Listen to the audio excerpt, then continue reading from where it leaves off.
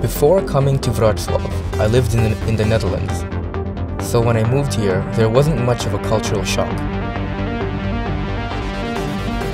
Polish food is okay, and I keep hearing people go on about pierogi, but honestly, it's just dumplings, and I'm Asian. I did some research on the internet and found out that the University of Wrocław is highly regarded in the field of biotechnology We do a lot of scientific experiments using some of the high-tech devices. ผมชื่อเซียแล้วผมมาจากกรุงเทพประเทศไทยครับ